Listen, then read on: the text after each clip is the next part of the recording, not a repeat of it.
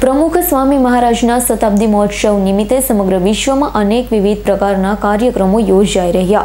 ત્યારે બારડોલી નજીક આવેલ સાંકડી ગામે ઓગણીસો એકોતેરમાં પ્રથમવાર પ્રતિષ્ઠા કરી હતી તેવા પ્રસાદીના ગામમાં સ્મૃતિ પર્વ નિમિત્તે સુરત અને તાપી જિલ્લાના હજારો હરિભક્તો સાંકરી મંદિરમાં દર્શનાર્થે પધાર્યા હતા. હરિભક્તોએ શિસ્તબદ્ધ રીતે ઠાકોરજીના દર્શન કર્યા હતા. નીલકંઠ વરણી મહારાજનો અભિષેક કર્યો હતો.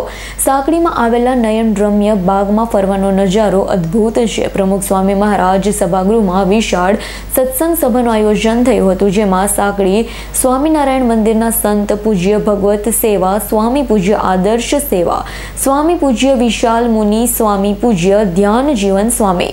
પૂજ્ય પ્રશાંત મુનિ સ્વામીએ હરિભક્તોને કથા વાર્તાનો લાભ આપ્યો હતો. પૂજ્ય કોઠારી પુણ્ય દર્શન સ્વામીએ પ્રમુખ સ્વામી મહારાજના જીવનના હૃદયસ્પર્શી પ્રસંગો જણાવ્યા હતા.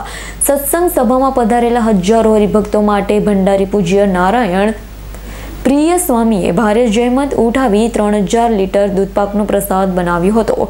શિસ્તબદ્ધ રીતે હરિભક્તોએ ગ્રહણ કર્યો હતો અને ધન્યતા અનુભવી હતી. પ્રમુખ સ્વામી મહારાજના શતાબ્દી મહોત્સવ નિમિત્તે સમગ્ર વિશ્વમાં અનેક વિવિધ પ્રકારના કાર્યક્રમો યોજાઈ રહ્યા.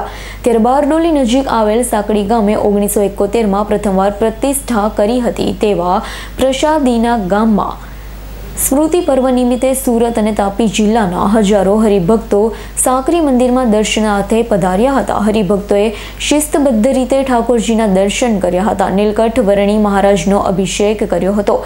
સાંકડીમાં આવેલા નયન રમ્ય બાગમાં ફરવાનો નજારો અદ્ભુત છે. પ્રમુખ સ્વામી મહારાજ સભાગૃહમાં વિશાળ સત્સંગ સભાનું આયોજન થયું હતું, જેમાં સાંકડી સ્વામિનારાયણ મંદિરના સંત પૂજ્ય ભગવત સેવા, સ્વામી પૂજ્ય આદર્શ સેવા, સ્વામી પૂજ્ય વિશાલ મુનિ સ્વામી પૂજ્ય ધ્યાન જીવન સ્વામી.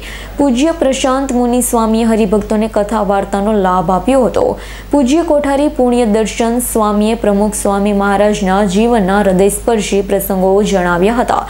સત્સંગ સભામાં પધારેલા હજારો હરિભક્તો માટે ભંડારી પૂજ્ય નારાયણ પ્રિય સ્વામીએ ભારે જહેમત ઉઠાવી ત્રણ હજાર લીટર દૂધપાકનો પ્રસાદ બનાવ્યો હતો.